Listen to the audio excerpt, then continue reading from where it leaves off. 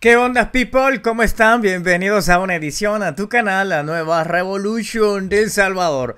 Bueno, lo que yo les venía diciendo ya hace un par de, meses de que se va a poner una reelección indefinida a Bukele. Aquí podemos ver cómo Félix Ulloa ya empieza a trabajar esa idea. Y dice, Ulloa, ve posible reelección indefinida con una reforma constitucional acordada por la actual legislatura.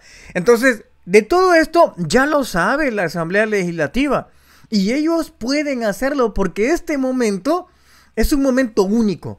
Ellos controlan, hacen esto. La segunda eh, Asamblea Legislativa, que son ellos también, van a aprobarla. Y en la tercera ya estuvo. Todo esto se va a hacer una completa realidad. Así que básicamente la reelección indefinida ya está y va a ser un hecho. Pero lo que me llama la atención, de hecho aquí está Ulloa ve posible reelección indefinida como una reforma constitucional. Ahora, fíjense ustedes que por el contrario, lo que dice el señor Ernesto Castro lo tenemos aquí abajo. Él dice que no sabe de nada, de nada, de nada, de nada de lo que es nada. Escuchemos. La verdad es que es bien interesante porque hay mucha gente, incluso de la oposición, hablando sobre reformas constitucionales.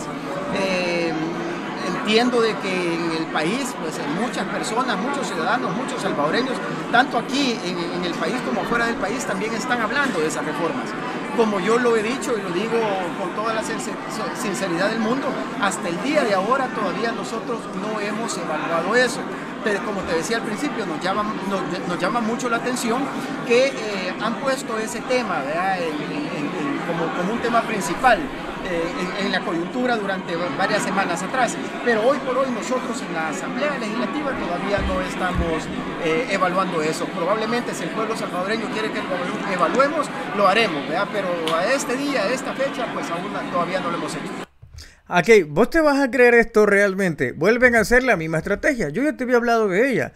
Lo que sucede es que diseminan la propaganda y hacen que las personas le quede enquistada la idea que ellos quieren. Y después que la gente supuestamente empiece a decir que ellos son los que están pidiendo. Brother, es que aquí estamos ante un lavado de cerebro a, a los años 30, 40 de los hitlerianos. Imagínate, la ocurrencia es de Bukele.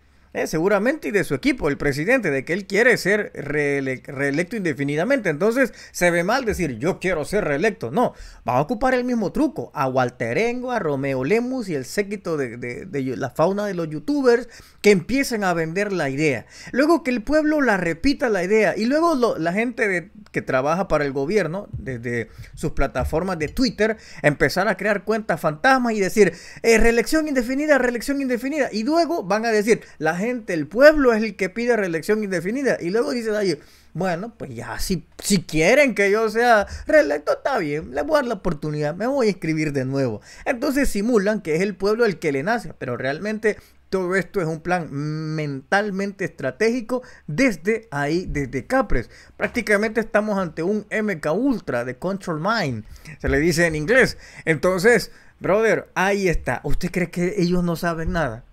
Obviamente ellos saben. Lo que pasa es que van a esperar el momento preciso antes que termine. Miren, ya estamos en abril.